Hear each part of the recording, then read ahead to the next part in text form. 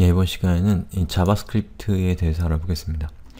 JavaScript는 제가 이렇게 적어놓은 것처럼 이 브라우저에서 실행이 되는 언어입니다.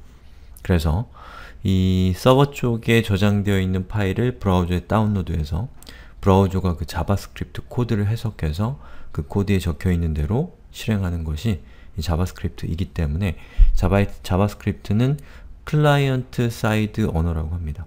클라이언트 측 언어라는 뜻인데 그 얘기는 클라이언트, 즉 웹브라우저 같은 것이 클라이언트죠. 반대는 이 서버인데 웹서버 같은 게 서버죠.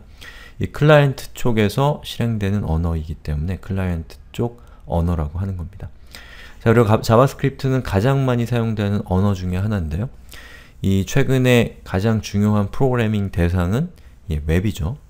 그리고 이 JavaScript는 이 웹페이지를 동적으로 또 프로그래밍 쪽으로 제어하는 데 있어서 이 독점적으로 사용되는 언어이기 때문에 어, 아주 많은 어, 아주 많이 JavaScript가 사용이 되는 거죠. 또 최근에는 이 JavaScript가 웹을 벗어나서 이 서버 쪽이나 또는 뭐 여러 가지 다양한 분야에서 이 JavaScript라고 하는 언어 자체가 사용이 되는 거, 사, 되고 있기 때문에 여러분들이 JavaScript를 배워두면 이 다양한 이 기술들에서 이 편리하게 적응하실 수가 있을 겁니다. 자, 그리고 JavaScript의 역할은 이 HTML로 만들어진 웹페이지를 이 프로그래밍적으로 동적으로 조작하기 위해서 사용되는 것이 JavaScript입니다. 자, 이것은 이것이 무슨 뜻인지는 이 뒤에서 차차로 여러분들이 알게 될 겁니다. 자, 우선 JavaScript의 문법에 대해서 알아보기에 앞서서 JavaScript를 어떻게 어, 사용할 수 있는가에 대해서 제가 설명을 드리면 자, 제가 에디터를 하나 준비했습니다. Aptana라는 에디터인데요. 제가 뒤에서 이 Aptana라는 에디터에 대해서 설명드릴 기회가 있을 겁니다. 이 프로그램을 이용해서 전 JavaScript 파일을 작성을 했어요. 여러분들 메모장으로 하셔도 전혀 문제가 없습니다. 자, 여기 보시면 example1.html이라는 웹페이지를 만들어주는 HTML 문서가 있죠. 자, 그리고 example.js라고 하는 이 JavaScript 파일이 이 HTML 파일과 같은 디렉토리에 위치하고 있습니다. 자, 보시면 이 JavaScript를 웹페이지에서 사용하는 세 가지 방법이 있는데 그 세 가지 방법들을 제가 하나하나 보여드릴 거예요. 자, 첫 번째로는 자, 여기 보시면 이 script라고 하는 태그를 이용해서 어, JavaScript를 사용을 할 수가 있는데 src라고 하는 이름을 가진 속성을 사용하고 있습니다. src는 소스라는 뜻이고요.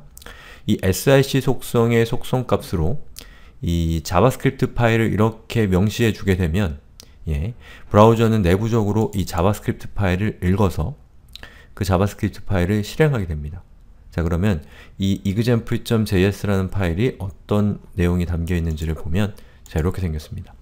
자 여기 있는 alert이라고 하는 것은 아직 우리가 함수라는 것을 배우지 않았기 때문에 여러분들은 그냥 명령어라고 생각하시면 돼요. JavaScript를 이용해서 컴퓨터에게 경고창을 띄우는데 거기다가 hello world라고 찍어라 라고 하는 명령을 한 거라고 생각하시면 됩니다. 바로 이것이 JavaScript 구문이에요. 자 그럼 이거 실행을 시켜보면 자, 준비를 미리 해놨어요. 자, F4를 누르면 자 보시는 것처럼 경고창이 뜨면서 거기에 hello world라고 찍혀있는 것을 볼 수가 있죠. 방금 제가 보여드렸던 alert이라고 하는 명령 때문에 이렇게 된 겁니다.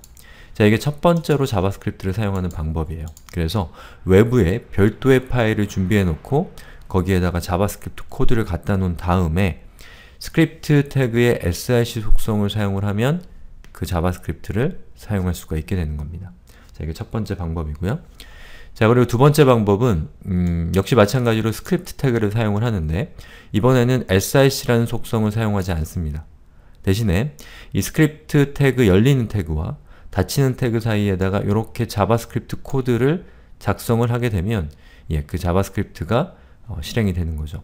그래서 브라우저 입장에서는 이 HTML 문서를 쭉 해석해 나가다가 스크립트 태그가 나타나면 아 이제부터 자바, 자바스크립트가 나타나겠구나 라고 심적 대비를 하는 거죠. 그러면 그 다음에 나오는 부분은 HTML의 문법이 아니라 자바스크립트의 문법에 따라서 해석하고 실행해서 그 결과를 여러분에게 보여주는 거죠. 그럼 그것을 언제까지 하냐? 바로 이 닫히는 스크립트 태그가 나타날 때까지 이렇게 하는 겁니다. 자 그럼 그 결과를 보죠. 자 보시는 것처럼 제가 reload를 하게 되면 자 우선 hello world라는 것은 제가 아까 이 외부에다가 자바스크립트 파일을 외부에 있는 파일을 불러왔던 그 결과죠. 이건 무시하시고요. 자, 그 다음에 보시면 여기 hello world라고 되어 있는 이 HTML 웹페이지에 hello world라고 찍혀 있죠. 바로 이것이 자, 여기 document.write 그리고 hello world라고 이렇게 적어줬기 때문에 출력되는 코드입니다. 자, document가 뭐고 write가 뭔지는 지금 전혀 중요하지 않습니다. 중요한 것은 자바스크립트를 HTML에서 사용할 때 어떻게 사용하는가 라고 하는 것을 제가 설명드리는 거기 때문에 이 시시, 그 코드 자체는 지금 맥락에서는 예, 되게 시시콜콜하고 하찮은 얘기예요. 중요한 것은 예, 스크립트 태그 안쪽에 자바스크립트 코드가 들어가는 것을 실행해 준다는 거예요. 자, 오늘 마지막은 음, 자, 여기 보시면 input 태그가 있죠. input 태그는 HTML에서 자, 보시는 것처럼 이렇게 버튼을 만들어주는 태그입니다. 자, 그 태그의 속성으로 onClick이라고 하는 속성을 사용을 했고요.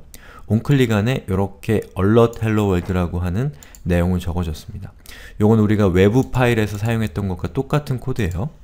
자, 그런데 이렇게 onClick이라고 하는 것은 무엇이냐면 이것은 이벤트라고 하는 겁니다. 자, 시스템에서 이벤트라고 하는 것은 중요한 사건, 이를테면 사용자가 버튼을 클릭했다, 키보드에 키를 쳤다, 또는 페이지의 로딩이 끝났다 이런 것들이 다 사건인데요.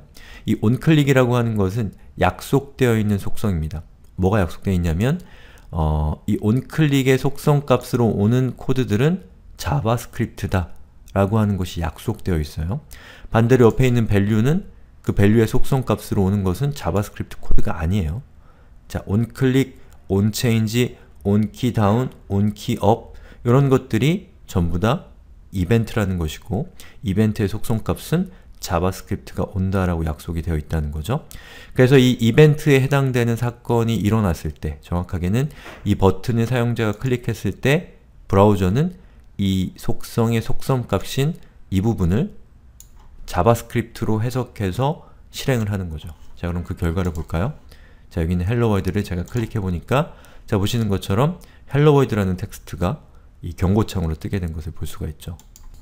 자 이렇게 해서 자바스크립트의 기본적인 사용법과 이 자바스크립트가 무엇인가에 대해서 제가 조금 설명을 드렸는데 이것만으로는 자바스크립트가 무엇인지를 파악하는 것이 어렵고 불가능합니다. 이 뒤에 있는 수업들을 차근차근 따라오시면 자바스크립트가 무엇에 쓰는 이 언어인지 이런 것들을 여러분들이 잘 이해하실 수가 있을 겁니다.